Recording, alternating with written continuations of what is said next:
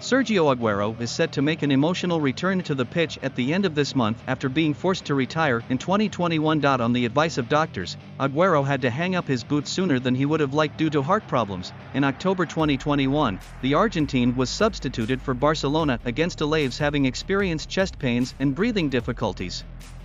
It was just his first start for the Blaugrana at the Nou Camp, but it ended after 41 minutes when he fell to the turf after winning a header.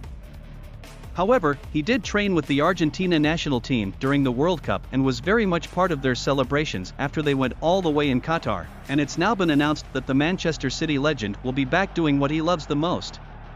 Aguero has been announced as a guest player for the 2023 Noche Amarilla, a yearly friendly fixture played by Ecuador outfit Barcelona SC. The game takes place on January 28 and Aguero, now 34, has been given the green light to play.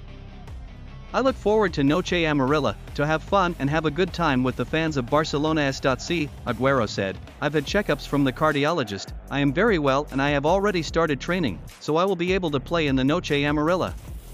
I hope to have fun and feel the pitch again. I went out to eat in Qatar and was watching Ecuador's first match in the World Cup. Some fans of Barcelona SC recognized me and asked me to come to Noche Amarilla.